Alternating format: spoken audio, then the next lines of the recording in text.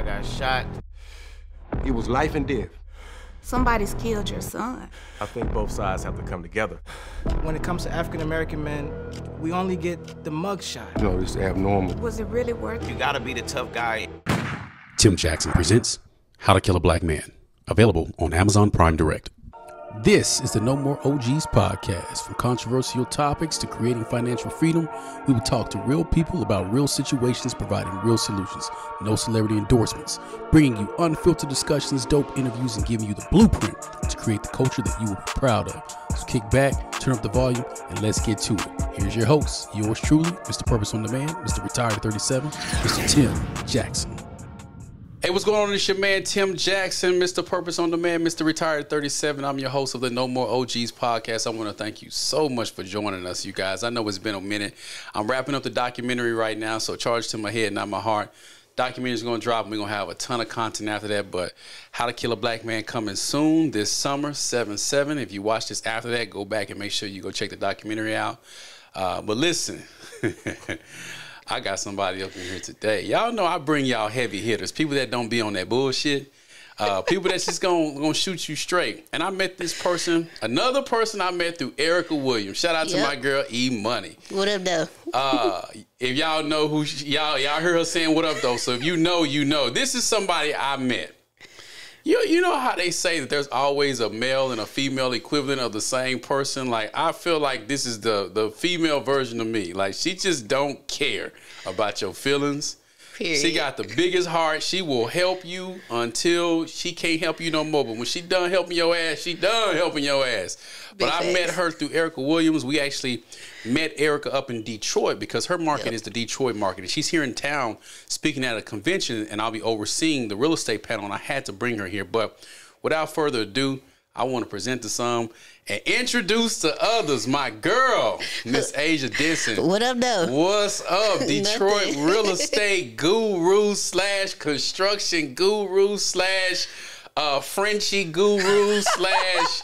Don't piss Asia off because she will do a whole reel about you, no matter how many checks you got next to your name. Facts. No matter where you from, and if you're from New York, she is not fooling with you. Yeah, y'all don't have no Uh, yards. What's up, man? Welcome to Dallas, What up, man. This your first time here? Second, I came in 18 for my sister bachelorette party. Really? She had it here. so you came at 18. That was 2001, 2002? No, 2018. Oh, 2018. My bad, my bad, my bad. Okay, yeah. I'm like, I was in college then and what's bro. your- well, you know them people from Jackson State come to Dallas to Oh, party. we got a big uh, alumni chapter. y'all have a very, Very huge alumni chapter. Yeah, I know a lot of people in y'all alumni chapter. Like y'all got a very big Yeah, group of people. big. Dallas, because people from Jackson State, they go to Dallas, they go to Atlanta, they go to Houston, Mm-hmm. and and then some of them go to Nashville, right? in Charlotte. and Charlotte. It's Yep. a lot of y'all in Charlotte. Charlotte deep too. Yeah, y'all are. So come on, talk to me. Like, what's good? Like, you in the city? You gonna be on the real the real estate panel this weekend? Like, Mm-hmm. what's popping, man? Like, what's like? I, I've been following you for a minute. You know, one thing I like about you is that you're very transparent, extremely authentic, and you don't really care what people think you. about you. Uh, Not one bit. and in this day and age, especially on social media, like people are really they're people pleasers. They want to be liked by everybody, but you know, it seems like a year later, you know, when they, they've gotten scammed by these people, they feel some Right. kind of way. And it's like I always tell people like the strong always survive, the weak always, you know, die. And there's a lot of people that come in real estate in our lane, they don't know what they be talking about. They be selling bullshit. And then we have to come and clean it up. We giving people the real shit, but they go after that trinket and then they go lose their money and then they want to come to us to clean it up. You know what I've learned? People don't like the truth. Mm. I don't. I don't think they like the truth. I get a lot of clients after I done told them the truth, and I think they think I be lying or like I'm trying to get over. I'm like, no, this is what things cost. Like ten years ago, you could rehab a, a whole house in Detroit probably 85 grand, fully gutted. Now you're looking at probably 185, 200. Mm. It's materials. Well, all licensed trade. It's material. It's, it's not really material. It's the labor. Labor, yeah. Typically, your materials is only 30, 40 percent of my estimate. That's the rest of that is labor and permits. Like I could spend. I spent ten grand on a building permit. Yeah, how different in Detroit though. Different. It's it's real interesting. I'm not trying to shit on Detroit because I eventually want to invest in Detroit, Oh, and I'm definitely gonna do it through you. But it's Appreciate it. different. It's it's a. I don't want to get too deep into politics, but it is a democratically, you know, ran city, which you know they tend not to be as business friendly. Uh, you know, uh, like you have Dallas as a Democrat city, but it's a Republican state.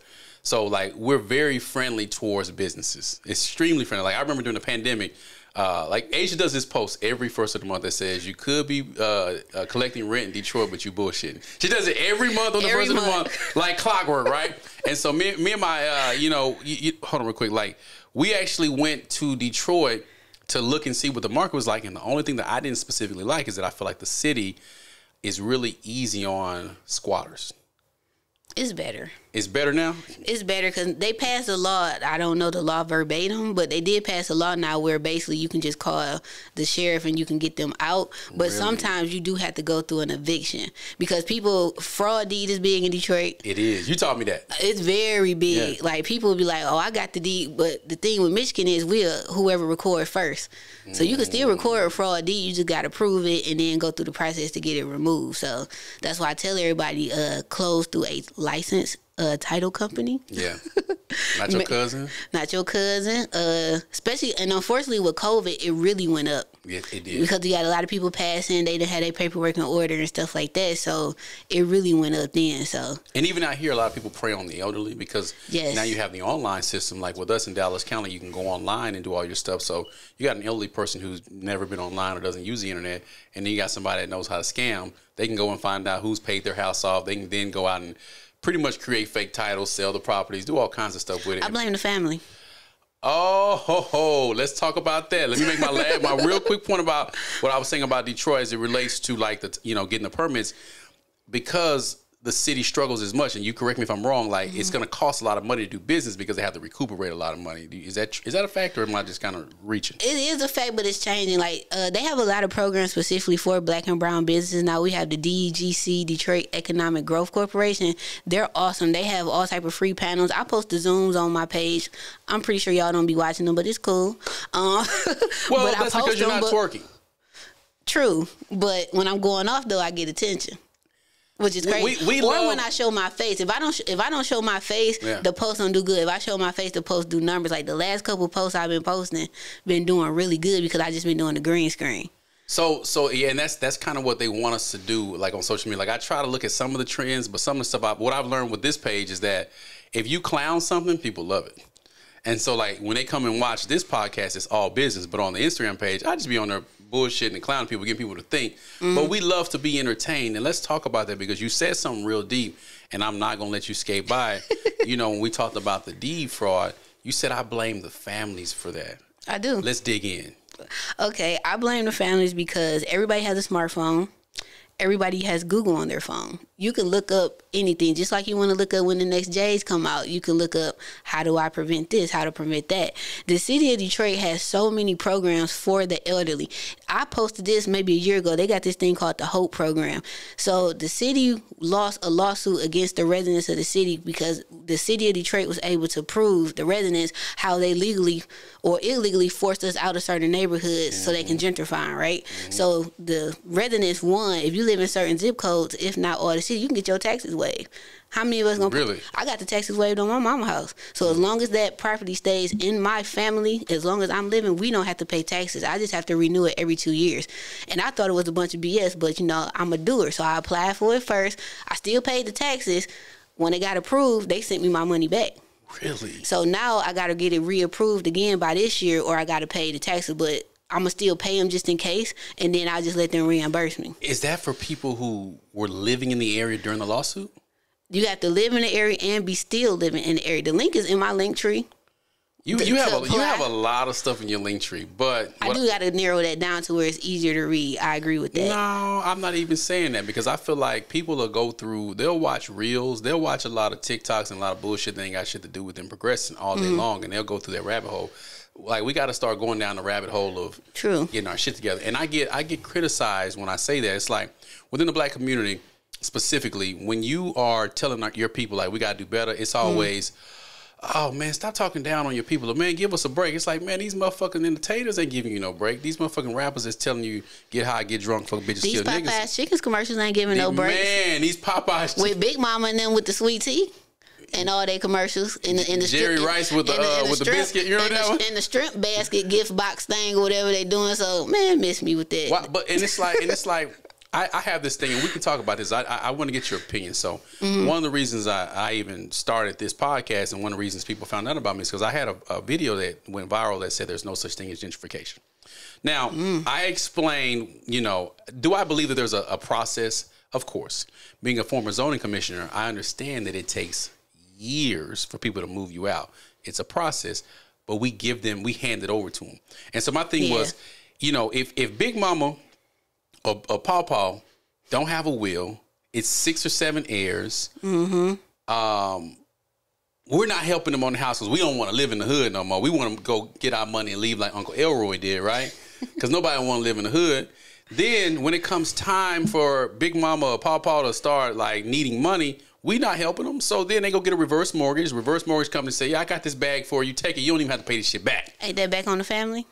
I'm going there. I'm going there. So then, Mama, Papa die. It takes 90 days to remediate that reverse mortgage. Like you got 90 days to prove that you are the heir, or you got to get the fuck out. And that's by that's by design because they know that it's going to take at least 120 days to probate. But they mm-hmm. have the deed. They have the rights. So now everybody's closed down. Now it's oh they're gentrifying. No, you you let Big Mama house go. You let Papa house go because you didn't want to live over there. They were selling houses. I know when I went to go see you, you were showing me houses that were 50, 60, 70,000 dollars and then you could do something to it and have it turned around for whatever I paid for times two, mm-hmm. essentially. And now I have a brand new house essentially for 150 or 160 thousand dollars. I can put on Section 8 rent out, but it's like that's too good to be true. You know what's crazy though? I bought houses for five, six hundred dollars when the market first I, crashed. rem- I remember that. like from 2010, because that's when I started wholesaling and stuff, or 20, probably 2012 to 2015. I got these. I, I think the most I paid for house then was $600. Because back then, people owe so much on the property taxes. They don't, don't nobody want to get set out. It's embarrassing, it's emasculating, it's, un, it's unfortunate, right? So they be like, I just need money to move. I be like, how much you need? Mm. They be like, give me 500 I'm like, that's it? All right, cool. So meet me over here, my boy here, Mobile Nerdery. We gonna do this right in the alley or wherever you at, and then I'm gonna go have my girl Emma record it down in Detroit title escrow. But before I do all this, I'ma still make sure the title clean and that all you owe is back taxes, cause I'm not paying no water bill, depending on the property. that's how they get you. That's how they get you, cause then you show all this other stuff. But to go back to your point, I blame the family, but I can't put it all on the family because Speak as far as like what happened with Detroit with the uh, the tax issue, Mm. they deliberately raised the taxes in certain neighborhoods to deliberately force people out Mm. that they knew they couldn't pay for it. So you had that happen. Then you had the big three go down with the bankruptcy and stuff like Mm-hmm. that, and that's what really devastated Detroit because everybody, they mama, granddaddy, great granddaddy works at the plant. One plant worker is ten jobs somewhere else. That's a, uh, the tire people, the airbag people, somebody, another company putting on the door panels. Like that one job, it's, it's a lot that goes on with that. Mm. So when the market crashed, that really devastated Detroit. At the same time, people are now for the first time seeing a whole check. You got to think. I'm fresh out of high school. I can go to the gym make a hundred grand a year, easy, Damn. easy. A lot of people in my family did that because. So now you got that. Oh, so you're saying because because Detroit was a plant town. For if you guys don't know, uh, the big three is going to be the big three car makers: Ford, Chrysler, uh, Chevy, GM. right? And GM, Yeah. right? Uh, we got a GM plant here in Dallas or in Arlington. Mm-hmm. Like their entire economy was that.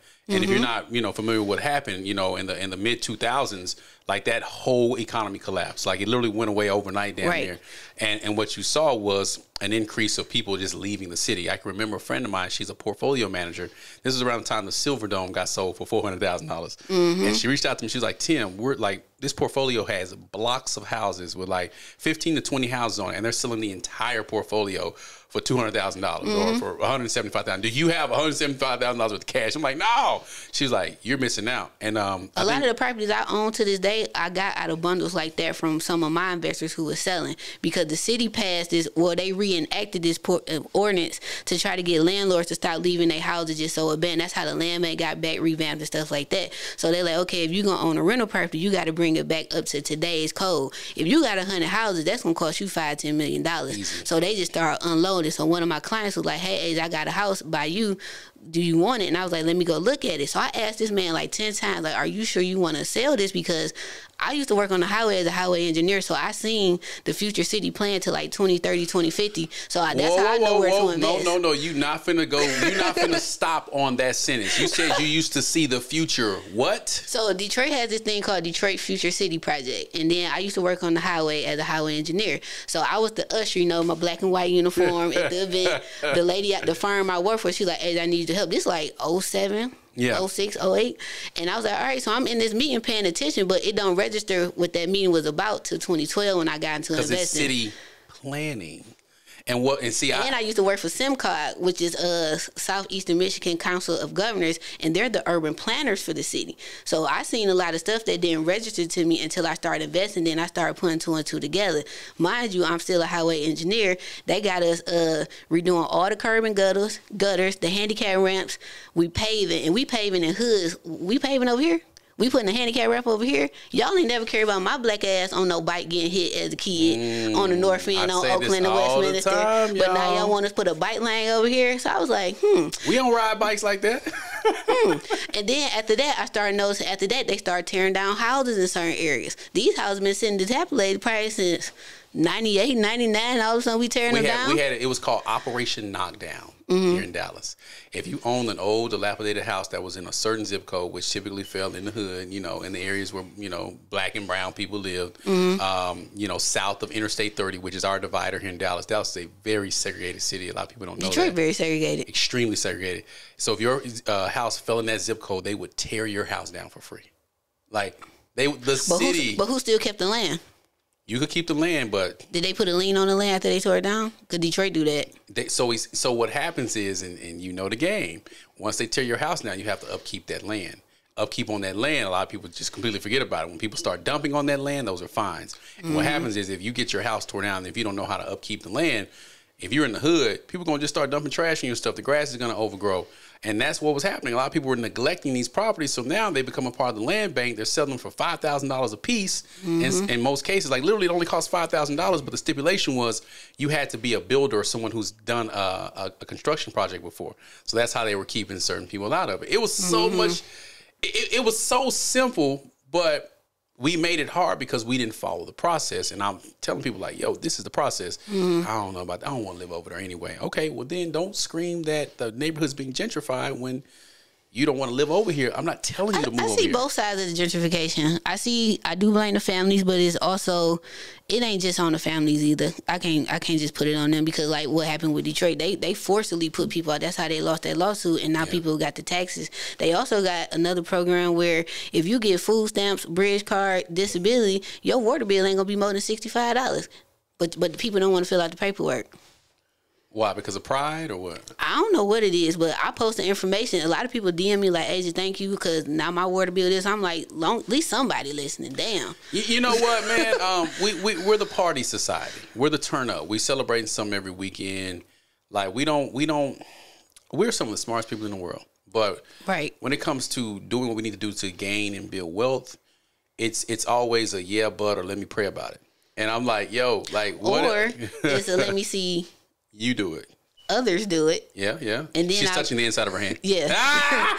when I see them do it, then oh, it's true. So let, let damn, you said you I'm throwing up the oops, man, or you throwing up the oops to me. So let's talk about that because you know I have this thing with the culture. That's what No More OGs is all about. Like Mm-hmm. the spelling, this bullshit ass culture that you know this get high, get drunk, fuck bitches, kill nigga culture is the foundation where Fuck hoes get money. yeah, fuck hoes get money, which is funny because you know what? I like rap music. I Love love, it. rap. It's entertainment. It's just like a mafia movie or a murder mystery. Like I love it. I remember when I first met met Asia. Like I swear we had the same playlist. Like she put on her shit, and I'm just like. Oh, you listen to Moneybagg Yo too, you know. So like, we yeah, just riding the street. I ain't never ran. If, if I did, cut my legs off, right? so that's entertainment. That's okay, but we make it our life. And so what happens is when a Tim or Asia comes along and says, "Yo, we can do this," they question us. But Mm-hmm. if somebody's come along scamming that don't look like us, or somebody that's, I always tell people the easiest way to scam our people is to pull up in a new car. Facts. You know, like pull up in a, in a That's true. Cause when I had my GMC Terrain, I had a 2010, a 2012, and a 2014. Well, I got business, but when I got that goddamn big black Ram, eh, I started getting more contracts. It's crazy though, but I because I didn't really start getting black clients for real to probably 2018, 2019. They had to research you. They had to. They had to see who you were, even though you were one of them. And and that's that's one of the things that I, I struggled with in the beginning. Was like I felt like clients that weren't black, they never questioned anything I was doing. Nope. They were like, "Oh, you're a resource. Uh, you know how to do this. Help me do it. Oh, I'm gonna pay you. Oh no, I'm not gonna they nickel and dime you. full. And they pay you in full. And then when I was, I would literally put on free events for my people. Like, yo, I need to come out here. Hey, this is happening. I nobody want to live over there. And it's just like, how, can we? Are we gonna ever be able to change that, Asia? Or is it gonna be too late? I think it's gonna be too late. I see Detroit being too late. We not we they said we might not be the blackest city. No, we've been the blackest city in America for 60, years, 50, yeah. 60 years. They said it might be Memphis now. Because a lot of us are I understand why a lot of black people are leaving Detroit because of the schools. The school is the last thing to get fixed. Once they fix DPS, which is Detroit Public School System, it's a wrap, and you will not be able to afford to come back. I see it. The average rent in Detroit right now fifteen hundred. That's crazy. Rent used to be six hundred dollars for a three bedroom, one bath, uh, brick house with a two car garage in the back, and we talking 2017, 2018. That's not that long ago. Let's let's park. Park. Too fast. No, I'm gonna. I'm. I, you know what? It's always good to have people on here that regurgitate the shit that I say, but we've never had a conversation. Like Gotcha. we've never talked about this shit. Yeah. You know, if you look at the city of Dallas, anyone who's from Dallas, the city of Dallas, Dallas Independent School District went through a total revamping because we lost Toyota. You know, Toyota moved to the area, but they moved to Plano, I believe it was. Uh, we lost a few other major businesses. Like a lot of businesses operate out of Dallas, but none of them are putting their headquarters in the city of Dallas because of the schools. So our schools completely went through a revamping process where they start renaming schools, they start redesignating schools. Some of the hood schools start turning into like uh, what you call like uh, magnet schools where you have to apply to get in and they specialize in STEM or law. And it's like literally the schools that we grew up thinking was the hooded schools in the cities are now like STEM schools. They're now, you know, pre law schools or pre college schools. And now you're starting to see that business economy come to Dallas more. And the way you can tell if your city's about to change is when they start revamping that school district because that's what businesses care about. So the, our school system went through a bankruptcy. We out of that. I knew the schools was about to change. Uh, this might have been 2012, 2013. It was a big billboard on Woodward and Warren on top of the uh, Chase building. You from Detroit, you know what building I'm talking about, by Wayne State. It said, welcome to the new DPS. It had a white kid with a uh, suit on, an Asian kid, and uh I forgot the other one, but it wasn't no black, no brown. Mm.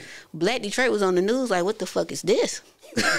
like Black Detroit don't play. Like, what is y'all doing? Y'all like, lot of pride. no, th- what what is this? They had Mm-hmm. another big issue. Uh, welcome to the new downtown Detroit. It was a big uh advertisement on a big building downtown by the uh in Cadillac Square somewhere, and it had a new restaurant on there. It had all white people sitting down.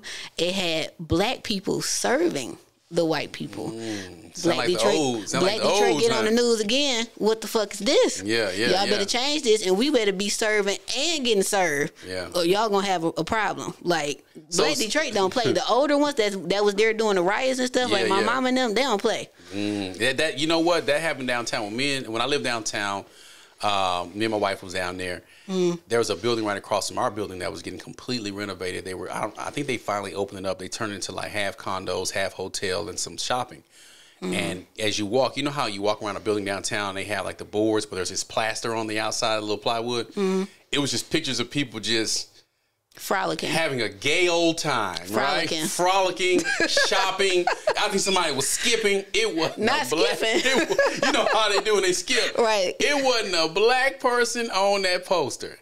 Same thing with the school district. You would see like posters of the school district, and there were no black boys specifically on the school district. Hmm. But then when you went to the website, when you clicked on the disciplinary page, that's where the black boy was. I, Oh, I- no. I reached out to my connecting edition was like, "What the fuck is this shit Yeah, right that's here?" some hoe shit. Like literally, it was like a, a white boy, uh, a black girl, a Hispanic girl. I think it was an Asian, another a white girl, an Asian person, an Asian kid, and then that was it. And then when you went through the entire website, there was no black boys. And when you clicked on the discipline page, Now they wanna show It was a little badass little black. I was like, I felt some kind of way. I hit my my guy up like that day and was like, "What is this shit?" yeah, and they, got changed it. No, yeah, no. Who approved this? But but here's the thing. You said something about Black Detroit, and I don't know if Black Detroit is like Black Dallas. Black Dallas is very uh, what's the word I'm looking for? Very passive. You know, we only show up to march and protest shit that don't have nothing to do with our money. When it's mm. time to talk about the money, we don't show up. We just want to party and kick it. When you look at some of the major cities around the United States, that tends to be a theme with, with us as a people. Like mm. we'll show up to turn up, but we won't show up to put the money up. Um, mm, we a little bit of both. Yeah. Like so, you but got y'all have way more black people than us. yeah, Detroit black black. Dallas is not a black. We only make up ten percent of the population. Oh no, People don't know that until they come. I didn't know that either. Yeah. But yeah, we we black black. But like you got awesome groups in Detroit, like New Era Detroit, that's doing their thing. They protecting the city. They uh they got food programs, tutoring programs, gun and safety classes, all type of stuff. So That's dope. and then they have programs like teaching people about financial literacy, real estate investing, all type of stuff. So it's a lot of stuff in Detroit. I can't say Detroit for black business. They do do a lot for us, but the issue is is us. We don't fill out the damn paperwork. They they have contracts in the city. So let me back up. Coleman A. Young was the best mayor Detroit ever had, the first black mayor of the city. Mm-hmm. Whitey didn't like him because he was for black Detroit. He was like, all right, white man, you want to come to Detroit and get my money? You going to hire 50, 60% black Detroiters. Mm-hmm. And if you don't, I'm going to find you a million dollars a week. That type of stuff. That's how they start hiring us and stuff like that Y'all huge on the unions out there too, huh? big. Yeah. We are now, I think, a right to work state, but we mm. still have unions because you got the plants. You got the plants, and it keeps them alive. Yeah. The plants is like our number one thing. So like when the market crash, I, I gotta back up some more. So when the market, come on back. Come so on look, back. when the market crashed, right? The other reason why Detroit fell so far behind is because people are now seeing their checks for the first time. If your base salary is forty grand a year, but you normally bringing in one, one twenty, one twenty five because all the OT, once they call that, that out, you like, what the hell is this? But now you don't move to Grosse Pointe, you don't move to Southfield, you don't move to Sterling Heights, you don't move to Oak Park. suburbs, You yeah. done got this big ass fancy house. You got two caddies in the driveway. You know what I'm saying? Kids going to the best of school. They going to Cranbrook. Now you're really seeing that you broke and you can't really afford That's a it. private school. Yeah, Cranbrook is. Ain't is that wasn't on the uh, wasn't that on uh, That was on Eight Mile. On, Eight Mile. Yeah, you went to. Cranbrook. That's a private school. For sure, a private school. Yeah, Clarence Some had money real school. good parents, very good. You had a two parent and his parents had a real good marriage. Facts. but I'm like, you going to, you got your kids in these best of schools, and now you seeing your real check, and you really seeing that you broke. At the same time, now your adjustable mortgage due, your balloon payment. So like, you lose your. It was just a trickle down effect. That's why Detroit got so bad, and it just became literally a ghost town in certain neighborhoods. But now, them neighborhoods, you see others walking around jogging with their dogs and their kids and stuff like that, two, three in the morning. Like, you, But you know where you at, bro? But they but here's the thing. And I'm not I would never promote anything happening to anyone. Like that's not who I am. Yeah, we're not violent. We're very nonviolent. we don't fool with people like that when they come to the community. We in fact we only we I remember we, me and my my Ain't wife nothing gonna happen to him though. Ain't nothing gonna happen to I, I remember when we bought this property in the hood, hood. Mm-hmm.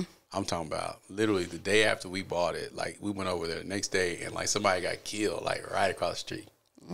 Hood, hood, but it's got bike lanes, and it has a new hospital right next to it. Oh, and it's coming. and it's walking distance to the train, right? Mm-hmm. And I never forget seeing people who weren't from that community just like starting to spring up, pop up. You know, going on jogs, walking their Labradors. You know, you know what I'm talking about. Like I ain't trying to be funny, but it is what it is Mm-hmm. It is. and and they never got bothered. But you know, I pull up and to, to to do what I need to do with the house. People look at me like something wrong with me. It's just like, well, no, like, why is it that I can't teach you how to invest in your own neighborhood? Like, why is it that you have to give me, you know, as someone who looks just like you, you know, like third degree, so to speak, or you don't mm-hmm. respect what I'm doing, but if someone else is doing it, it's it's admirable.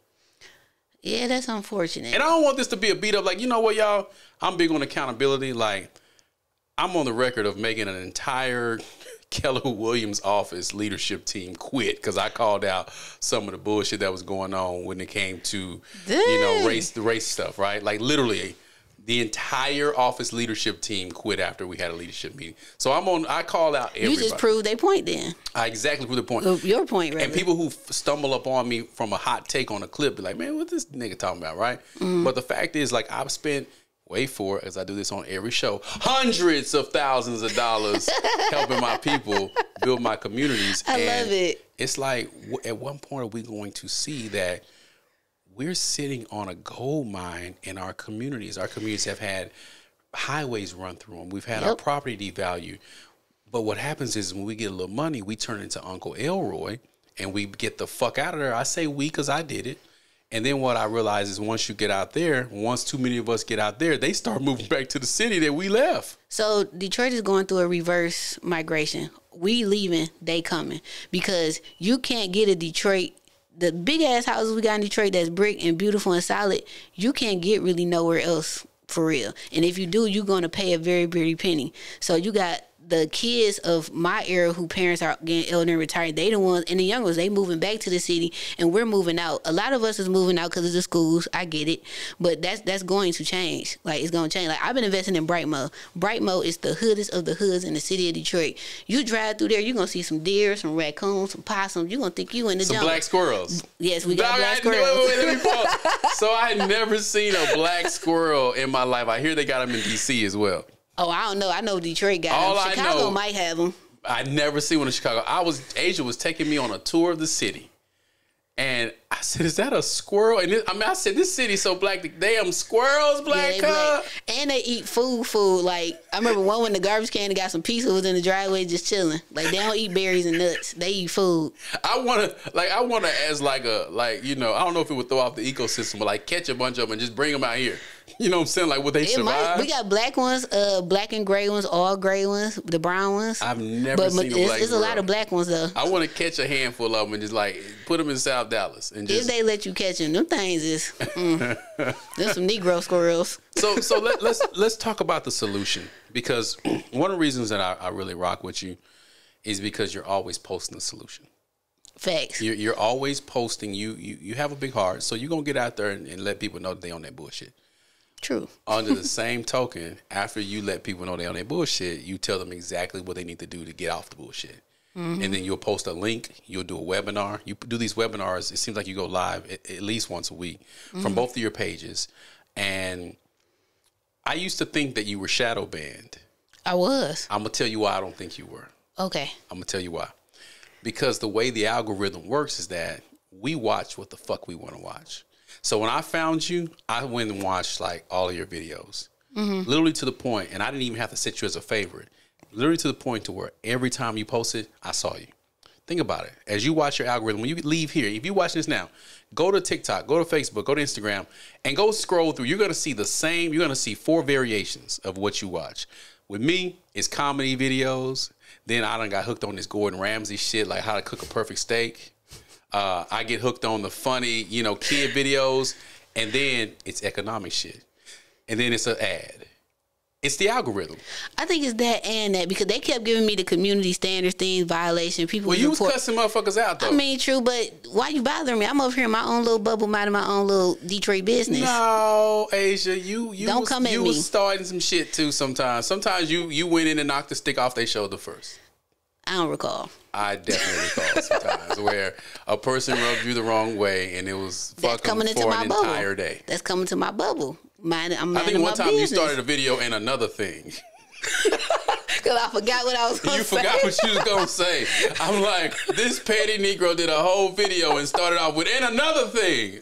And so if you had been I am petty. extremely, extremely Guilty. But, but but but what I said is like you will you'll tell people, hey, this is bullshit, but this is what you do. Like you do your uh, Detroit, uh, you post something like DC. Some every month you post like this thing that the city does. What what's that like? So D- that every Monday they have a free Zoom meeting. And what's crazy on these Zooms, they tell you what they about to invest in next. They tell Mm-hmm. you what they about to gentrify next. Technically, they uh, talk about all- redevelop. I'm sorry, Redevelop. redevelop. There's no such thing. Yeah, they're going to redevelop in these neighborhoods. They're going to also talk about these different business loans and grants that they can offer the city, free tech classes they offer because a lot of people, unfortunately, are not tech savvy. They had free uh, one program where they was doing uh, your your website for you.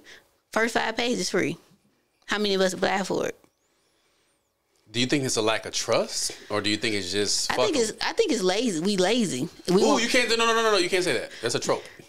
okay. We're uh, what's another word for that? That's a trope, and they're gonna call us coons, even though we love our people to death and we invest. I don't care what you call them. You I'm just, but I'm just, yeah, you know, I'm just, you know, putting the rules out there because Yeah. you can't, you can't, you know, one of the hardest things I've learned. I said in my 30s, I spent most of my time trying to convince the wrong people to do the right thing, and I followed every. Oh, I got the word too relaxed. that's a good way to put it. Mm-hmm. We can't say lazy though. Too relaxed. We're too relaxed. Remember that. If a person doesn't like to get up and do what the fuck they need to do to get their shit together, they're not lazy. They're just too relaxed. And they must don't like money. They love the image. They love the the idea of being rich.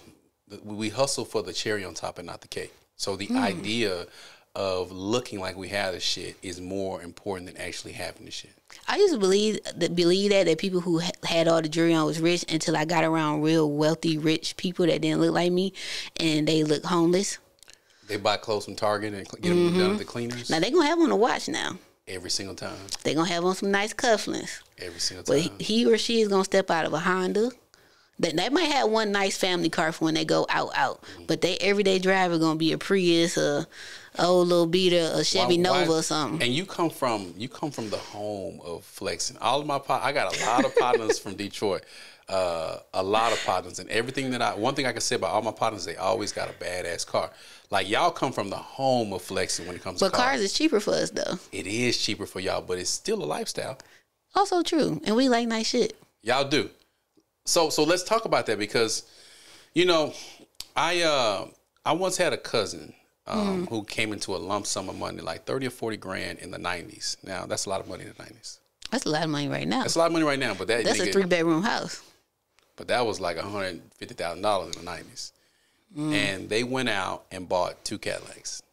Of course they did, You know what I'm saying? And it was like, and went on a shopping spree. and it was gone. That shit was what's the movie Gone in sixty seconds? They got the money like at the beginning of the summer, and by the end of the summer, by Labor Day, it was gone. Okay, so let me ask you this: with the reparations thing, Mm. I don't understand why they won't give it to us because that's exactly what's gonna happen with seventy percent of us. Well, I'm not gonna do that with mine. well, so so on the topic of that, run me my check. You know, let me decide what I'm gonna do with that money, y'all. period. On the if, topic of that, if I do want to blow it, give give it to me to blow. give it to me to blow. So Yeah. first things first, run me my check. I'll never not say that. Um, I think that if you give a lump sum of money to anybody, they're gonna fuck it off. I think that because we're we have proximity to our people and we see the bullshit from our people all the time, Mm-hmm. that we're gonna automatically assume the bullshit. But one thing I've learned getting around other people, as you just mentioned, is that they have a lot of people in their family on that bullshit too. They just do a better job of tucking them away. Yeah. Like, like seriously, like you know what I'm saying. Like they tuck them away, and you don't really hear about them, and you see them as the idea of success. Uh, run me my check. Um, but Mine what? What happens though? Like when I like if I if you and I get a check for two hundred thousand dollars for reparation, like like what do you do with it? What you gonna do with your shit? I'm gonna renovate uh, Big Red on Cadillac and Kercheval. You still talking about Big Red, huh? You Yeah. showed me Big Red, didn't you? Yeah, I'm gonna put that That's the money. on- firehouse, right? Yep, Yeah, yeah, I remember. I'm gonna put it in there. Whenever my house on bad for sale, Lord, it ain't sold yet. Yeah. And that's the other side people don't tell you. Like I talk about both sides. I talk about my goods and my bad. Some win, some You losses. show a lot of mistakes. Yeah, I show a lot of mistakes because I want people to learn from mine. Just like I would hope they would. But So do you feel like that's why a lot of people are other issue, though. intimidated by you? Because I see a lot of times. you think people intimidated by me? I definitely think that people are intimidated by you because I because I, it's the same type of intimidation I get. So like I never thought that. I, I, they are, and I'm gonna tell you why. When you have people that are like, if I show you my inbox, and y'all know who y'all are, because y'all be hitting me up. Whenever I go speak in different cities, I'm on a 10 city tour now. The people that show up, they say, Tim, you're the one of the few people on social media that actually tell us the truth. And what happens is, is I feel like a lot of people that have these bigger platforms, like some people that I know, will go on a bigger platform, but they won't say my name or they won't throw the oop. Whereas when I get in front of a bigger platform, like I have, like the event that's going on this weekend. Shout out to you for that. My that, dog. that was My sure. dog. I owe you some Waffle dog. House, bro. You can get two waffles. Ah, I hate Waffle House, but I'll eat it for you. Whataburger? I fuck with some Whataburger. Because I love that with a T. Okay, well then let's do it. All right. So like like what, what happened was there's a big event coming to Dallas, a huge expo, and I was able to help bring uh, work with the organizers to find a venue, and it, it's taking place this weekend. And the organizers said, "Hey, we want to have a real estate panel. Do you know anyone?"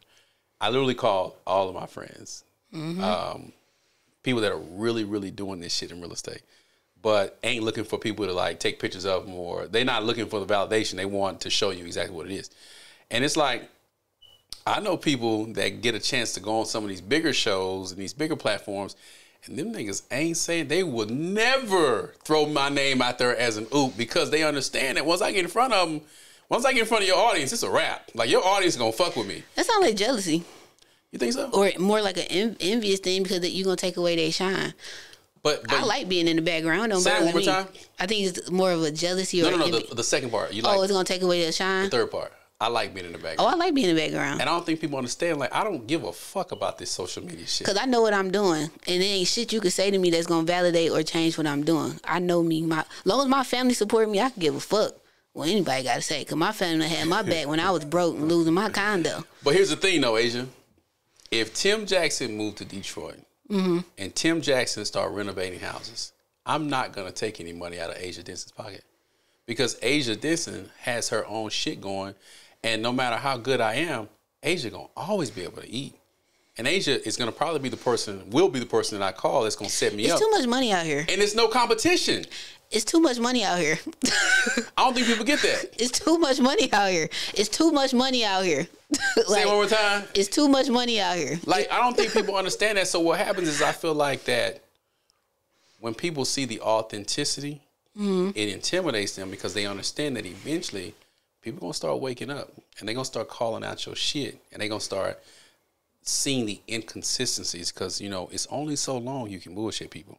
Facts. You know what I'm saying? And it's Especially like since all this pandemic money gone or Yes. almost gone. it's only so long you can bullshit people. And what happens is you see these people come, and they ain't shit on nobody. This ain't no kicking nobody in the ass contest. But you'll see these people pop up and they're a guru, and then two or three years later you don't see them anymore because they on their ass. But I don't look at myself as a guru. I don't ever call me no guru. But people call me a guru. Like, "Hey, you the real I think I called you one. You you called But me one. I was one. fucking with you at the beginning. My uh my personal trainer, he called me one when he introduced introduced me to people. Then he was like, "Oh, this Asian shit, our real estate guru." I be like, I just think I'm a person who learned some shit and applied it and did it, and just kept doing it. You Even forgot one component of that. despite despite the fact that I've had losses and stuff, I never gave up. You left off one component. You teach people how to do it. Oh yeah, I do teach people. You do. And what happens is like most people, they're not teaching people. You know, they creating some bullshit, they charging people, and then when you buy, it's a bunch of shit that you can go to YouTube and find. And then when you start getting out there doing it yourself, a lot of people invest their last dollars. I always tell people that fuck Yeah. me, don't invest your last because when you flipping that first house, every fucking thing you can imagine gonna go wrong. The people I learned from the wholesale from uh I forgot the name, it was a white group. Uh the fortune the fortune builders. Mm. I went to that, learn and then I ended up buying a separate program after that. And I remember telling the guy like, look, I'm going through a foreclosure, stuff like that. Like this at the height of foreclosure in Detroit. And he was like, Don't invest your last with me. He like, I will never take that from you. And I respected that because he could have and he didn't. And like I tell people the same thing. I had a client reach out to me and they was like, uh, "Would you recommend that I put up my house to uh come invest in Detroit?" I was like, "The house you lay your head at, you and your wife and your three kids." He was like, "Yeah." I was like, "Don't you do that stupid shit?" do that stupid shit. I was like, "You got some rentals you can put up. Put them niggas up. They can leave. you don't put your shit up. What is wrong with you?" So why do we teach that? Why like I be watching people. I always teach people about the platinum card. Mm-hmm. American Express Platinum. You got one? Oh, I got I got two platinums and I got a Delta Reserve. Okay. Yeah, you a Delta Club person. So so let's talk platinum cards. Okay. Because you use your platinum card like I use my platinum card. Uh, thank you, Amex, for funding this trip. Bruh. I'm on my seventh trip and I've only paid I, my first five I trips use on my, my points. Bruh. That and my American see we got American Airlines here in Dallas, so Yeah. you know you got y'all got Detroit. As, I mean Detroit is Delta pretty much, right? That's Yeah, we got Delta, but we got the old airport which hosts everybody else. Yeah. So this is American Airlines hub. So I have my Amer- I mean my American Airlines club. I go into the Admirals club. I got that too, but I don't use You don't use it. You you use I them like use I use Delta, Delta. yeah. So the point I'm making is this: on those platinum cards, I used to see people posting their platinum cards, and they be, oh, I got this platinum card, and it's like, okay, you can afford the six hundred ninety five dollar membership, but post your statement. Post that statement, player. Because what people don't understand is that the first two or three years, depending on how much money you spend, all that money is due. If you charge a thousand dollars, they want a thousand dollars at the end of that month Mine is not like that. Mine because you could- really use it. Yeah, I could just pay on it. Because you use it. Oh, okay. I didn't know that. You know why. that's a feature, right? The, Oh, the thank you, minimum the, Amex. the minimum payment is after you spend over like hundred thousand dollars, I believe. Don't I- quote I me on that, but I know you cannot make a minimum payment the first couple of months because they want you to pay it to zero. After you've established a relationship with them, then they give you a minimum payment. Oh, I've been with Amex since 2012. yeah, like you have to be with them for years before they offer you a minimum payment. Oh yeah, I got minimum payment. Yeah. So Mm-hmm. like I be one I be petty. So one day I just finally got tired of seeing people post that Amex card and I was just like I just made a post of like literally all my bills that I paid for like the last six months. Like one of my bills was like 20 grand. I'm like, no, post your statement. Mm-hmm. But we get so caught up in the glitz and the glamour of having a fucking a platinum Amex. But are you using those cards correctly? Because I've bought houses on my credit, not on the credit card itself, but I've done balance transfers. Oh my God. I didn't know none of. So look, Y'all pay attention because I teach I say this all the time when I speak. That's my first uh, flip I did back in 18. I paid five grand for the house. They wanted 25. I was like, I got five. Yeah. He was like, You got eight? I got five. So he took the five. I was like, Cool, give me three days. So uh, Chase had sent me a thing, like they sent me like a stack of checks, like actual checks, and I was like checks. And on the uh, the letter it said you can use these checks to pay anything, including yourself. So I was like myself. Denson Construction Service, twenty five thousand. Wrote that boy to myself, put it in the bank, went and bought that house, and that's how I rehabbed it. Then I needed Was zero percent interest for like fifteen months? How many- eighteen, and then I needed another fifteen Y'all, this ain't coach because I always tell this story when I go speak. Go ahead. But look, I needed another 15 to finish the house because I only had 25. So uh, I went to Instagram. I was like, hey, who want to let me borrow $15,000 at 10% interest? Six people DM me. I was like, holy shit. And so I was like, well, I know him personally. I ain't gonna take money. I don't want to do business with friends because if it go bad, whatever. So my boy out of Cali, he had just took the equity out of his house. He had got like 1.2 million from in San Francisco. Moved to Detroit, bought 50 houses in the tax auction. Damn. Section 8, all them hoes, he was getting 1050 to 1150 a month because he was doing out cold rehab. I was like, why you putting granite over here? He's like, because I want the most bang for my buck, which he did. So he got like 30 in Detroit and 20 in Pontiac. And he fixed one up, lived in that one, and Section 8 the other 49. And then rented out the house in San Francisco Y'all, to pay what, what the mortgage I always back. talk about? I always talk about Section 8. Section 8 is I love friend. Section 8. You get that money every month on the second of the month. While everybody's complaining about nobody's paying them during the pandemic, Mm-hmm. the government's cutting you a check every month on the second of the month. We're doing a Birdman hand rub with our Section 8 tenants every month. Thank you. So I, I mean. I this love is, that. rate. Only thing with Section 8 in Detroit, they still be sending me checks. I'm like, nah, Section 8. Why am I They take two. They take two or three. They take us nine, 60 to ninety days to pay your first. Uh, give you your first payment out here. That's fine, but you give me a green check, bro. It's 2022 at the time. Y'all sending me checks? Is it through the city of Detroit? No, this through the city of Southfield. So, so that's how it is out here. Like every city has its own Section Eight municipality. Yeah. So I go. I like to go through the county because the county covers everyone and they're electronic.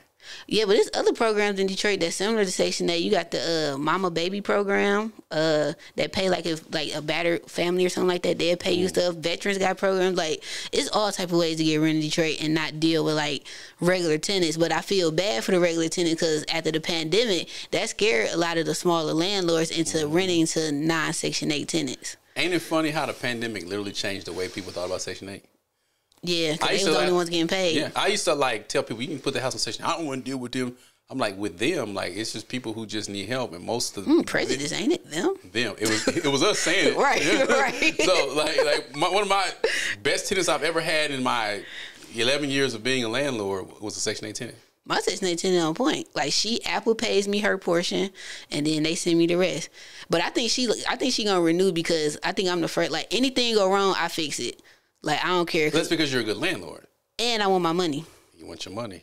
And then she has a small baby, so I'm being considerate of that and stuff like that too. And I told her, I was like, you get anything in here that you didn't invite, let Yeah. me know. my boy got his own bug invite. company, so, So let's talk about that They too. gonna come spray. No, let's segue in there because you, you know, one thing I, I fool with you about is you're extremely resourceful. Like I met your crew that was working on your one house. Mm-hmm. Um, the the black Hispanic dude.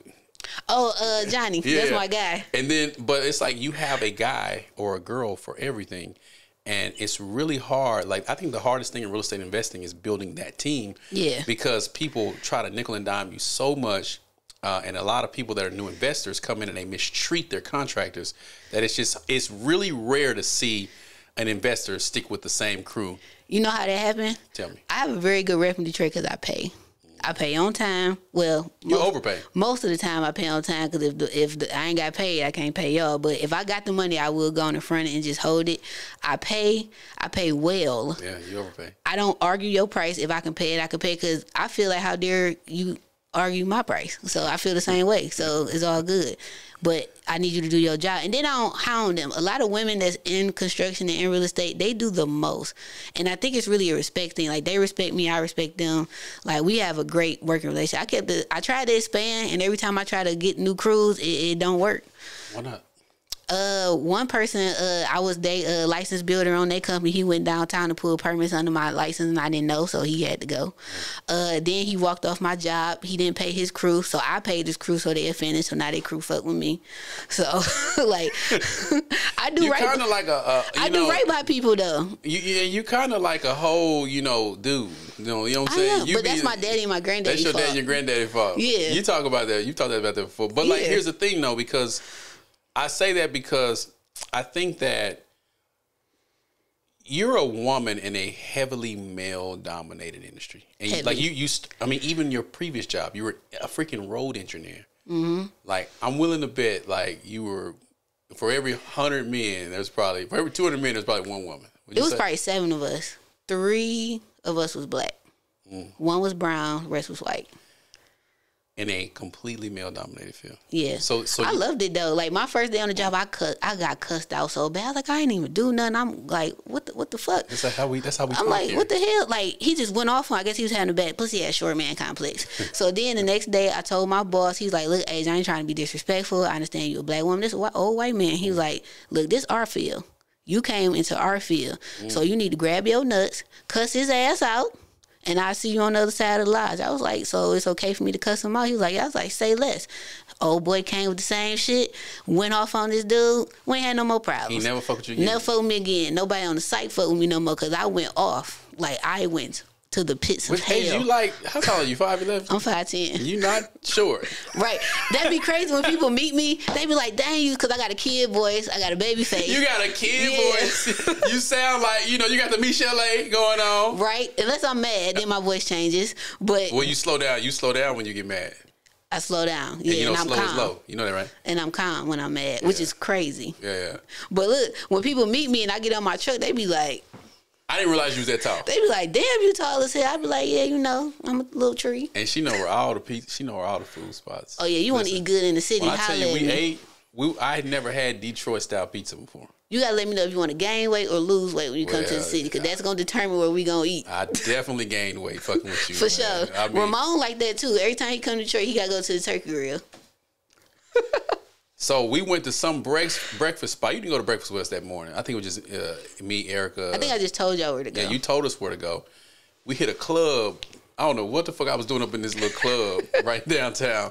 We hit this club like soul food spot right outside of downtown, mm-hmm. right past the little Martin building. Mm-hmm. You know the uh, Martin's. You know where Martin was. You know the little. yeah, when I show people that, they be like, "Dang, that is." I like, is the same it. building. And then you took us to this pizza spot. Buddy's Pizza. Shit, it took them forty minutes to make our pizza. It was worth every minute though. It was worth every minute of it, and it was a hole in the wall spot. Like Everybody go to the police. That's but that's the original ones, not the ones out in, in the burbs. You know, they more fancy. But we go to that one because they got them same cast iron pizza pans. you sound man. Listen, listen, so listen. you know that pizza gonna slap. it's gonna slap, man. They ain't got to grease that thing or nothing. right. Let me let me ask you something.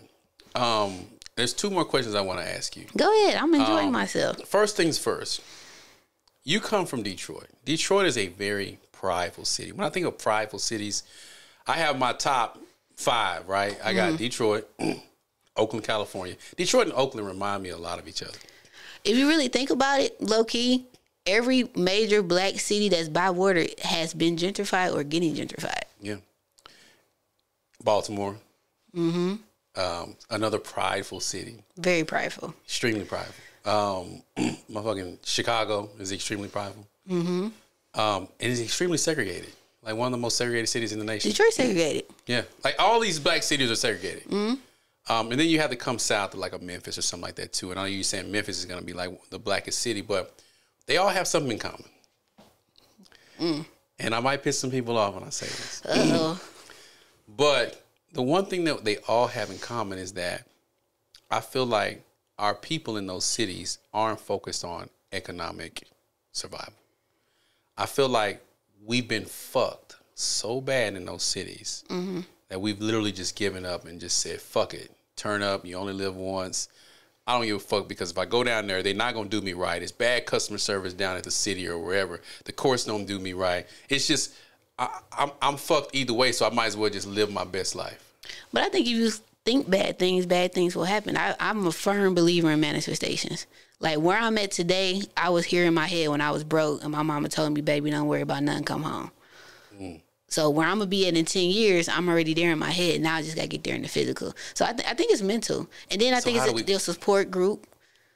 It got to be your that. support. Cause, Talk about that. Cause I got a lot of friends who talk about how they family didn't support. I remember when I first told my mama what I wanted to do. She like, so this how you gonna get on the front of Black Enterprise? I told her that like in the sixth grade, Mm. and she was like, okay, this is all I'm gonna say. If you gonna do it, do it. If you ain't, I don't want to hear about it. That's Mm. how my family roll. And then once you tell them what you gonna do, they gonna be on your head like white on rice. Did you do this? Did you do that? Did you do that? Which it's like it's annoying, but I appreciate it. And like they they had my back. They was like, we got you. Like so, So I, I you think know it's, that's really, not common. I've been hearing that because when people be telling me their story, I'd be like, "This is crazy." Like my family will never do that. To this day, my family they like, "Hey, when you getting that jet so you can come pick us up?" I'm working on it. You Uh, know what? I just had this conversation today with my boy Marcus, blue collar CEO. Shout out to him. He said, Tim, he said essentially we've kind of lived in a fairy tale. You know, um, we want things to be a certain kind of way, but the average person that makes it out, that thing turn my allergies up, y'all. Y'all know I got these horrible sinuses, so if you see some snot dripping, I'm not editing. Fuck it. He said a lot of people who make it out, the Tims, the Asias, the Marcuses, the people in the in the family that everyone calls on, there's literally no one really fucking with us or teaching us how to do this shit. We're either doing it by ourselves, and we had one or two people that wouldn't let us fail. He said, but the average person doesn't have that. No, he my said, whole family, they Yeah. got my back. Both both sides, like, cause me and my dad had just kind of that relationship really just probably formed in the last five to eight years, Mm-hmm. but. I really can blame him for a lot of stuff because my dad was a brick mason, my brother's a brick mason, my uncle, my other uncle was a, uh mechanical engineer, but he was a carpenter. And my granddaddy had a really big construction company growing up, so Mm-hmm. I was always around it. I, I never thought I would do this, but I'm kind of glad. I really wish my granddad So was you saw here. it. Well, I seen it. So then, how do we? How do we? How do we show this to be normal? Because one of the things that I've struggled with is making this shit normal. And it's like even with me- my mentoring group, you know, like I cuss a lot, y'all. Y'all know I don't Me mind. too. I don't mind wearing my mentoring shirt because we mentor for real. Um, Mm-hmm. The hardest part is breaking through that barrier with the kids to show them that what we're doing is normal. Like You got to show. The, unfortunately, that's when you got to floss a little bit. You got to show the kids that you don't. I was always told I don't have to shoot a ball or catch a ball to be able to make good money. Like, and uh, the blue collar way is really the way to go. Blue collar is needed. You can be a plumber at 18, 19, making 50 to 100 grand a year. facts. And that's that's nationwide, no matter where you at. That and then once you get your five year journeyman, or if you decide to go get licensed and get a company, the 1099s I send my subs, I be looking like I'm in the poorhouse. twenty five thousand dollars and twenty. We did a job one time that was twenty two thousand dollars. Asia. Twenty one thousand dollars was digging. Mm-hmm. Do you hear me? Mm-hmm. Twenty one thousand dollars. I know. Was digging around the house. It was like almost three hundred dollars a foot because they have to dig a foot long and so Yep. so deep. Twenty one thousand dollars was digging. The materials was only like a couple hundred dollars. They probably paid 10 grand for that machine five years ago. and They been done made that money back. bro. Twenty one thousand dollars was digging. Yeah. Then I paid another plumber to do some, run a gas line for me. Was that about 3000 Five. Mm-hmm. Five. To run a gas line from the street with the permit? With the permit. Yeah. Because the city of Dallas don't fuck around with the permits. Like, Detroit they, getting like that too. like they ain't playing. They'll drive. They be driving around them neighborhoods. If they see you doing something, let me see. it. But you have to post your permit in the front yard in many cases. Yeah, we got to put ours in the window. Yeah. Um, he came out there at Asia. When I tell you he had that job done, he dug in like, let's say we'll call it three hours, four hours. Mm-hmm. He came out there, checked the hole. He ran that that damn gas line. He called the inspector out there to give him a green tag. He was gone. But you know what? Somebody posted on my page the other day when I posted that land bank video and was like, "This is hilarious because uh, the USB plug only costs a couple dollars and I can buy a box of them on Amazon." I was like, "But you paying for the motherfucker with the knowledge to put it in, so you won't burn the house down." People so damn smart on social Stupid. media. Like, like, like, like but, That's but what you why? paying for. What's the purpose of And him I coming to your people, comments? I was like, three things I ain't gonna never cheap out on: my finishes, cause that's what matters. Y'all don't care about what's going on behind that wall. I do, but y'all don't care. HVAC and electrical, them two can kill somebody. Dead. You can blow a house up if you wire it wrong, and if you ain't got that CO two coming out the house the right way, you gonna kill a family. and You going to jail for murder Yeah. and restitution. like that stuff is real. Shit's real, real. like I don't cheap And that, on doesn't that. have an expiration date. nope. Yeah, if you did some faulty shit with a permit or without, a, especially if you did it without a permit, you I put permits on all, my, and that's why I got a clause in my contract now. And if you're a contractor, listen to this. Make sure you have a clause in there that there's no like a circumvent clause, because a lot of people in Detroit, especially these investors, they'll try to go around me to you to get something done for cheaper, and then you fuck it up. You still want to come sue me because you used my guys and went around me. So all my subs know if anybody come to you, prove it. Make sure you got proof. I'm putting a twenty five thousand dollar lien on this house. When we get paid, we gonna split it. You gonna get twelve five, and I'm gonna get twelve five. And I, and that clause is good for five years from the date of completion, from the start until the date of completion of the contract. Then the five years start. Like I don't play. Really? If you a homeowner, you think you gonna come in here and learn on my not on my permit. you can do whatever you want when these Yeah. Mm. when I get these green stickers. Mm. And also contractors, make sure you document everything because I go. I went to court. I'm four and zero right now. I'm four and zero. I'm zero. four and zero, but I document everything. Denver. Right, right. You got to sweep on be them boys, sweeping them, huh? right? Be sweeping them, but no, for real, cause uh, you gotta. I was taught on the highway always CYA, cover your ass. So I film every house from start to finish. I take pictures of everything. I had one client some years ago was like, y'all broke the window. I was like, here you go to uh, YouTube link. See the four minute and two second. That goddamn glass was broke. So we not fixing that, and that done got me out of a lot of stuff because they don't expect that from black content. They really don't.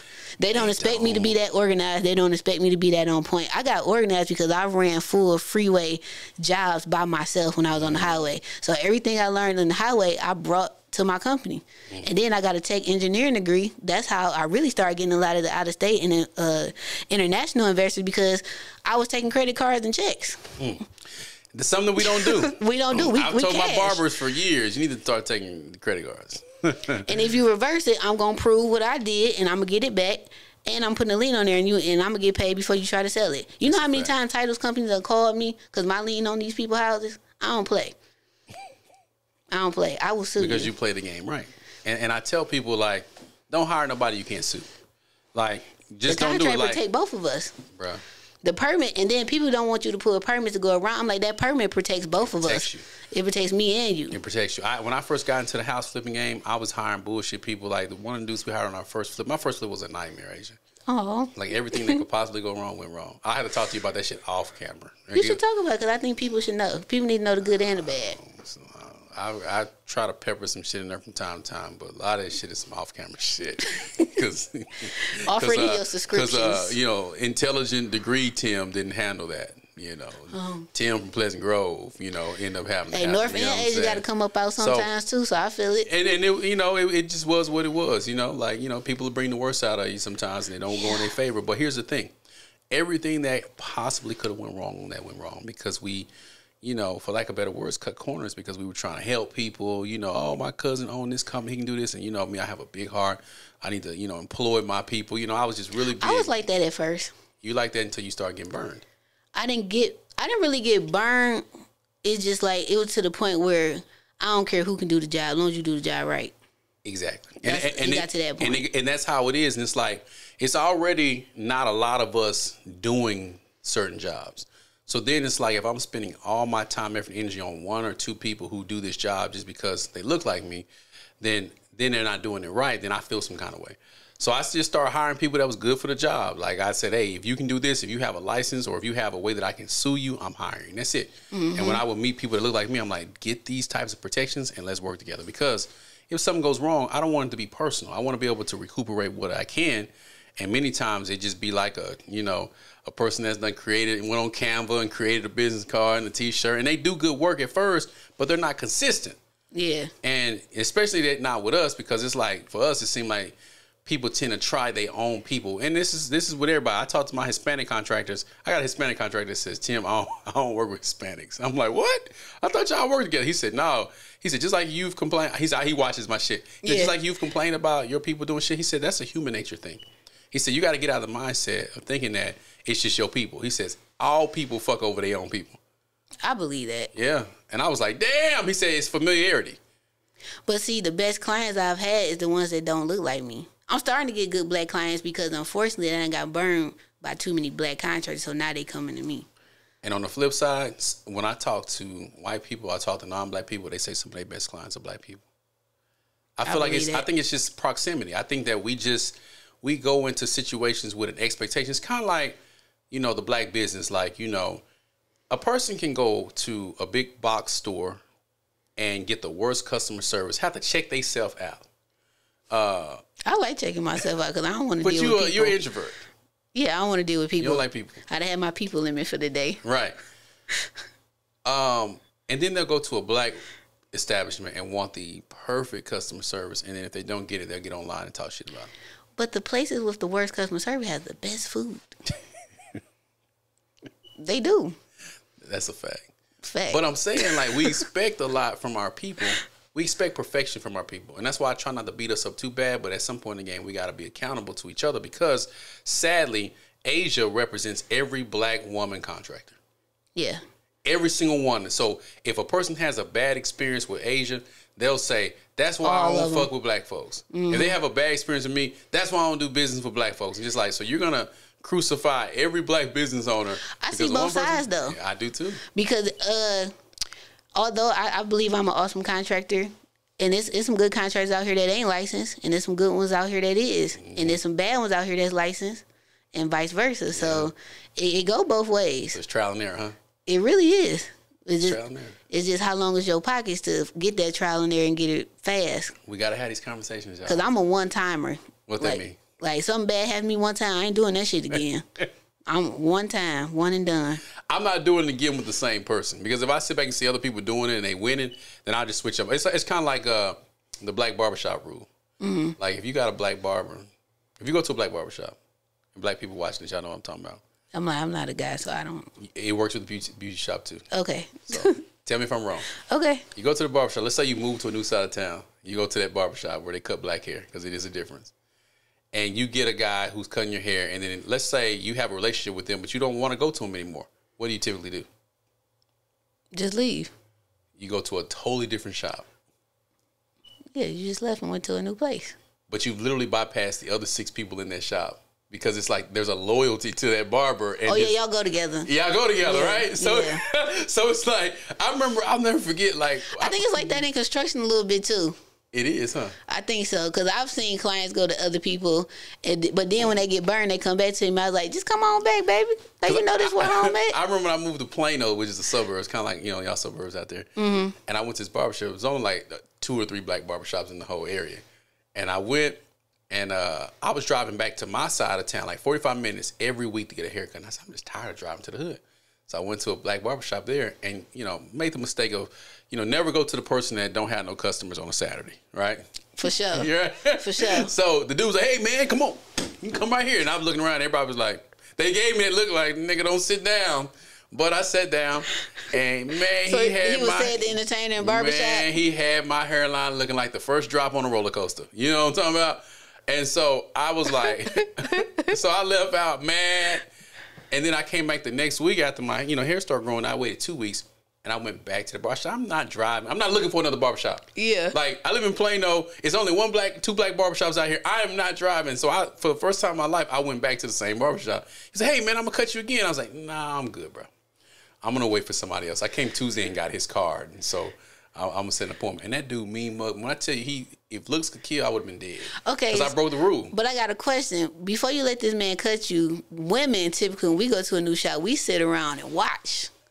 It was the a other people- Man. You know how long I would have been watching? I'm my hair ain't gonna be crazy. That's a fact. So I'm gonna sit there and watch, bring me some snacks, Let me and see how they got who me. hair. Okay, that's who I'm gonna come back and go to. I'm gonna tell you how they got me. They'll never tell you that that person can't cut in the barbershop. Like all other barbers will just be looking like, I'm like, hey, can somebody give me? Like, yeah, my man can get you right here because they're, you know, he's paying a booth fee and they're not gonna. right. So they knew he couldn't cut. But they gave you the look and you didn't pay attention Bro, it to was a. Saturday, bro. You know what a black barbershop like on a Saturday. Would you rather have a crazy cut or just go a couple more days with, with extra hair? Cause you could always put a hat on. I took my. I couldn't at work. I Oh, couldn't you at using work. corporate. I was in corporate. Mm. And so I learned then, like, but what I'm saying all that to say, like, for me, when I have a bad experience, I'll just go back and find the person that's winning. Like, if I know that Asia, if I go to Detroit, one, I know that I can't go to Detroit without calling you. I appreciate that. But I've seen, and this ain't the shit on nobody, and don't say any names because I know you're petty. Um, I've seen people come to you and then they try to circumvent you, circumvent you, I'm sorry, and then everything goes to shit. I bust out laughing every time. You we're not gonna talk about. We, this isn't the petty show. Oh, but what happens is That'd be a good name for a show, though. I'm gonna figure something out. What happens is a lot of people try to circumvent you to cut corners, and they'll try to use you, and then they feel some kind of way when you when shit don't go right, and they want to come back, or they feel some kind of way when you want to tax them on the back end, or they feel some kind of way because you're charging them for your time. Mm-hmm. And I see that a lot too with us. Like we have to start respecting the person's craft. I think they have to respect the craft, the educate education they put in, and the experience. Like I done made some hella mistakes. I just learned from them, you know, stuff like that. But you But show them though. Yeah, I do show. I'm a solution person though, like, Yeah. cause I don't like to just hear people complaining. Like, okay, what are you gonna do about? it? Cause I'm only gonna keep hearing the same goddamn story a couple more times. so what we gonna do? Cause I got a nap waiting on me. Textbook uh, Aquarius. Like I got a waiting got on me. Uh, you took a nap today before you got here, didn't you? I didn't get one today because I had a long, stressful day traveling with Hawkeye. All right, let's let's let's end it on that because she does have her dog here with her. So Yeah. I ask this to every person that comes on my show. Mm-hmm. Uh, Asia, you can go back to 18 year old Asia. You ever seen the movie Back to the Future? I love Part two. You really? We I love all three of 'em, So yeah. so that's my fa- one of my favorite movies. Part two specifically when they go back to the when they go to the future future, like into the you know. Oh yeah, with the comic book, with the book and stuff. Okay, there you. I, Yeah. yeah, that's why I fool with you. So you have a Biff moment. You can you get into the DeLorean. You go back to 2001, uh, 2002 when you getting ready to go off to Jackson State when you finna hit the yard, Mm-hmm. turn up, and you're walking down a long dark hallway and it's just you and 18, 19 year old you. And you can give them the, the comic book. Like, what specifically would you tell yourself in that moment that would change your life today? Use your refund check to buy stocks on Amazon. Cause back then Amazon only sold books. Bruh, I swear I tell everybody this. You That's remember it was the a, college bookstore? Yeah, but I remember Amazon. Yeah, cause I used to buy my books from there. We all did. And I was like, you, I would have used my refund check for that. That's the first thing I would have did. I would have bought more uh tech stocks like Google stuff, cause that was all just coming, but we didn't know. We did. And uh, I would have probably bought um, probably would have bought some Nike and some Microsoft stock, Mm. cause I would probably still be doing what I'm doing, but a whole lot more. That Amazon play. I would have been paid off. We would have been paid off because that's I graduated high school 2001. Yeah, we graduated the same year. Yeah, so yeah, Oh, we've been out of school 22 years. I went to my 20 year reunion. It Two was years ago. yeah, it was awesome. The same year. Remember? Because I think I just met you the year I went to mine. Yeah, it was awesome though. I still hung with my same crew. We still was talking shit about everybody. Ain't nothing changed. Ain't nothing changed. I was telling some kids I spoke at uh, an event a couple this last this week, and I said, "Y'all realize that there hasn't been a day that's gone by this year since probably since September last year that I have not received a package from Amazon. And growing up as a kid, if we got two parcels from UPS a year, we were doing something because you didn't get parcels like Yeah. that, right? I said now It's so normal now. it's so normal. When we were in college, Asia, Amazon was a bookstore. Like you mm-hmm. got your, you either went to the campus bookstore or you went on to this Amazon website and they would have it to you in three to five days. So you could pay a little extra money to get it. Yep, and it was still cheaper doing that than going to the bookstore or renting your books. Okay. Another another thing I would have did with my refund check. Mm, why I actually did good with my refund because I should just pay my rent up for a year. Like I ain't working. Yeah. I just paid my rent up. Another thing I would tell my younger self is when a person shows you who they are the first time, believe it. My mom used to always tell me that, but you know, experiences you have to learn the hard way. Definitely believe it. Male or woman, it could be Say that- friendship, say- say that again. relationship. Say that again. Say that again. When a person shows you who they are, believe it the first time, especially when they drinking. Because a drunk man or woman tells no tales. At least that's what I was always taught. really. Mm-hmm. Because your true self gonna come out when you either broke, angry, or drunk. Damn. Your true self comes out when you're broke, angry, or drunk. Yep. So, so as far as this is about to go so off topic, but the perfect example of that is dating. Like so, like men always try to impress me with money. Money don't do nothing for me. I got my own money. If you didn't have that money, who is that man? That's what I want to know. Because if you lost all that today, that's gonna really be who you are. Mm. Because some people, when they get money, they become who they really are, or when they lose it, they bec- they you show who they really are. Mm. So I, I definitely believe that. I've seen it. Friends, people I've dated in the past, I've seen it. Money doesn't make you, it reveals who you are. Like, I don't think people understand that. Like, Cause I feel like I'm the same way I was when I was losing my condo. I had to move back home, which was a blessing. But me losing my condo was the best thing that ever happened to me. really. Best thing. I remember? I was crying. I was depressed. How, why'd you lose it? Uh, cause that's when the market started crashing, and then Yeah, I lost my job. Uh, my mortgage, my condo was like sixty five thousand, so my mortgage was only like five six hundred. My mom and sister had to co-sign for me because uh, I worked on the highway as an independent contractor, so that looked risky. So I had to get strong co-signers.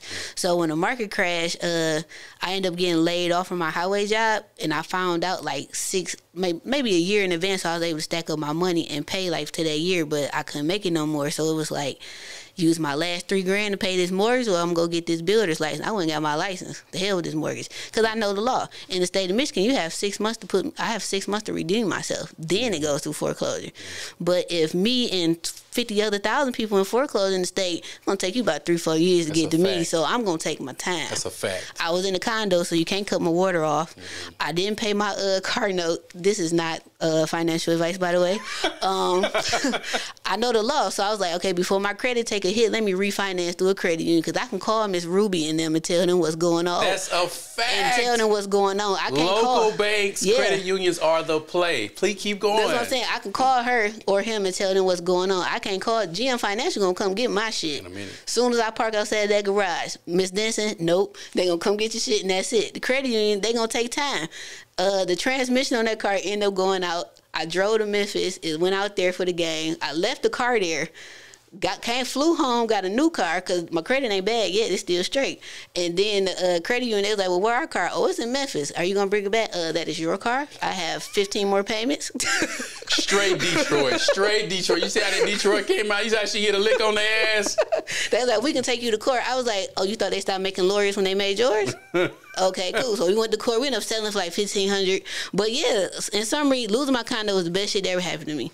When my when I called my mama crying and finally told her what was going on, she was like, I knew something was wrong. She was like, baby, don't you worry about a damn thing. Come home. My mom gave me the okay. Man, it was motherfuck this car, fuck this, fuck, because I was straight and I could come home and really focus and go hard. My first year after losing my job, I made like 150 grand mm. from wholesaling and doing little small jobs. And I was like, oh, this it. I ain't worked. It'll be 10 years this October since I worked. I've made more money through L's than I've ever made through a win. Yeah, you Because go, you, learn from them. You learn from them. You learn exactly what not to do. That first flip, that was a nightmare flip. You know what not to do exactly again. Mm-hmm. what not to do. It actually made me change up my, my position. Like I stopped flipping after that. I flipped a couple more, but then I got into the buying. I think my problem is that I trust people from the jump, and the only person that can ruin that is them. And that, that's something I really got to work on because I have such a big heart. I'm such a big giver. My family is like that, and I can get played like that. I've gotten played like that, but I don't look bad. I'm Like shit, that's your luck because I'm that nigga. and you and you let people know. Like me, when a person screwed me over, I just I just sit I sit back. I play the long game. Like Mm-hmm. my thing is, you know, um, I don't have to get my leg back. You know, uh, God to get get my leg back, or the universe, or the stars, whatever you subscribe to. And Yeah. it's, it's such a better lick. And, I, and I- I'm one of those guys. I, I live by the mantra: "You'll need me before I need you." Facts. And so when a person needs me, when they fuck me over, I've had so many people come to me and apologize. Like Tim, you know, I did I did some hoe ass shit. Um, That's real. At least they were able to apologize. But were you Because of the- accepting of it? Oh, of course. I don't kick people when they're down. I used to. I used to feel like I used to feel the need to punish people, but I learned that the greatest punishment a person could ever have is to come to you and admit that they're wrong. And that takes years in some cases, Yeah. but it's it's it's like why am I going to lose sleep over some bitch ass shit? Like But that see, person is I- a bitch ass person either way go. I think so. Last year was a really rough year for me because like three of my really good contractors, like I don't know what they was dealing with, but it just went bad. No, I don't have no hard feelings no more, but I did at first because I never. I'm I'm real trustworthy, so I never thought this would ever happen to me because Yeah. it's like I do right by people. So it's like when people do me wrong, I be taking that shit real, real personal, and I be trying my best how we are. We, you know, we like to say we're not emotional, but we take it personal. Like we, Yeah. we, we want to get revenge. I be wanting to get revenge, but I'm gonna let God and karma handle it because they gonna always come through, and I'm beat just your ass. Yeah. Like, there's no other way to put it. Yeah, Like they gonna get There's them. nothing that I could do to you that karma won't take care of, and it's always sweeter. Like I've sat back and watched people suffer, yeah. and I'm just like, you know, excellent. I'm, I'm Mr. Burns on their ass. It's like I didn't have to involve myself in that because I know me, and once I involve myself in it. eh, You know, then that then it becomes a whole nother thing. It's just like, why would I put myself through? But I got clients like that. They only call me uh, after they get burned because they used to use me in the past, and then they was like, "Oh, I can find it cheap." Okay, good luck to you. God bless, Godspeed. No, I, I don't never have hard feelings. If They you, always call you, don't they? I got one who always call. He every time he texts me like, "Hey, you already know what time it is." I'm like, "You know, I'm about to text your ass." He like, "All right, cool," and that be that. He out of New- New York City. I had a guy call me yesterday. I love this dude. Love him. Um, he wanted to go to cheap route on something. Mm-hmm. And when I tell you he getting taxed right now, to the point that where now the listing just got sold. The house was already in. He was helping his a, a relative out. Um, the house got sold. The lenders got switched, and Mm. all the money that they were on the contract for one number. The new lender came back and made a bunch of other stuff due. Mm. Yeah, they can do that. All the stuff that the first lender suppressed, the new lender said, "No, we want our money Damn, in the escrow period." Mm. They can do that. Damn. And so he's like, "What should I do?" And I'm like, "Well, first things first, man. I, I can't advise you because you already have a, real estate. You know, some people say that's petty, but that's the law. I can't advise you. you know, because I would love to help you. yeah, However, yeah. yeah, I told him, I said, man, you know, I, I love you to death, brother, but you, you know, you're on the contract with another real estate broker, so unfortunately, I can't advise you. I said, but what you should do, uh, what you should consider, I didn't say do, what you should consider is having a conversation with your real estate uh, agent about, um, you know, getting those fees reduced, and you know, if in the event that you terminate that contract with them, I would love to help. But it's like, that was a very nice. yeah, that was a, that was. I'm really proud of you. I ain't about to lose my, my livelihood because you chose to go the cheap route. And was I love you, you. was you laughing on the inside? Old me would old me, ah! But new me is like, I'm really that dude. You wanna know why? Because when you we we we don't plant anymore. We don't plant Yeah. seeds anymore. We want microwave shit. And I'm a planter. Mm-hmm. So I knew when I had the conversation with him two, three years ago about this that he wasn't gonna go with me. But it was just like, all right, well do what you gotta do. But eventually it's like a boomerang. Life So that a, karma came back. it's a boomerang. Life is a boomerang. It always comes back. And then when it comes back, you get more business on the back end. What I've experienced, when you're humble and you say, it's all good, man. Like, I can help you, but it has to be this way. And mm-hmm. they typically always follow my way to the T after that. And it becomes a loyalty that can't be broken. But you know what I've learned? Okay, I've been licensed since 2012 and business since 2010. I was always the higher contractor amongst us because I charge like the white man. You mm-hmm. want top quality work? I got top quality subs and that's what it come with. License insured, I warranty all my work, all that good stuff. But I've learned that it's like that's doing right all them years it finally started paying off because then people started getting screwed. And then when people get screwed in detroit they know like hey, if you call Asia she gonna look out for you. she gonna tax your ass. She gonna charge you but you ain't gotta worry about your shit. And that gives me like a sigh of release like damn like finally like y'all really starting to see like i ain't trying to like get over on y'all but you know i gotta pay my subs and still make money too at the same time. It takes 10 times longer to prove your integritous work than it does to be on some fuck shit. Yeah. People naturally gravitate to the fuck shit. Yeah, cause I I got integrity. My whole team got integrity. When my mama was still here, my biggest thing was like, I can't do bad because it's gonna get to my mama and I'm gonna get my ass thrown at me. Bruh. My family big on do not ruin our name. Like my family big on that, and my mom used to always tell us, "You never know who know me, so you better go out here and act like you got some damn sense." I'd be like, "Yes, ma'am," And you know the fun thing about and it? it is true, business it's and super true. personal, everything. it's I don't know how it is in Detroit. In Dallas, if you're black and you about something, that circle is extremely small. Yeah, Uh, to the point where you see the same people Yep. all the time. Especially if all y'all got integrity, that circle is even smaller. It's even smaller. Yep. I, I, you know, it's the one percent of the one Mm-hmm. And so, man, listen, y'all. We gotta wrap this shit up. We've been I mean, we- forever. I could talk to like you we can literally day, talk bro. for another hour. Um, I'm definitely gonna have you back on. I hope you can make it out to the uh, to the documentary release if you can't, I'm coming to Detroit. But listen, Yeah, just, uh, text Oh yeah, I'm me. coming to Detroit. Yeah. I'm bushing. I'll be in Detroit. Uh, we picked a date in July, right? In July, Yeah, I think it was the end. I gotta look at my because you got phone. something going on in, in July. Yeah, I go. Uh, I'm taking my, You I'm taking my little cousin. Look, I told my She little finna go cousin. turn up. All that stuff we was talking about doing. Look at she finna go spend that money. I'm taking my little cousin. So me and my little cousins got a deal. Every time they get good grades, we go, every summer we going somewhere. That's dope. Cause that's how my family did us. That's dope. Yep. So, so my goal is to be in Detroit at the end of July. So hold me accountable to that. Uh, I'll be in St. Louis next week, and then I'm taking a break to promote the documentary. And then my next stop after St. Louis is gonna be Detroit. I gotta get Detroit while it's still a little bit warm. Cause It's, it's about no- to warm up. It's uh, it's like trying to do- 65 today. You know. That's a It's gonna be like in the 90s next weekend for Grand Prix. It's gonna be nice. It's supposed to be like in the, the high 80s, I think. Cause come what end of September is back cold, huh?